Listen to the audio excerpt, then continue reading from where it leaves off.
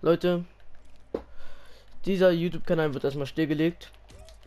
Meine Livestreams kommen auf Twitch, auf Ghostbands. Ähm, ich werde jetzt einfach einen neuen Kanal starten. Der wird erstmal stillgelegt. Private Gründe hat es. Wenn ihr auf meinem neuen Account einen YouTube-Kanal, den werde ich nicht verlinken. Das hat alles seine Gründe. Der neue Kanal heißt Lost Leerzeichen Kano. Ich werde alles hier noch ändern. Ja, Epic Games Freunde. Ich weiß nicht, was hier los ist, warum ich keine Plays Freunde habe, aber alle sind auf Epic irgendwie.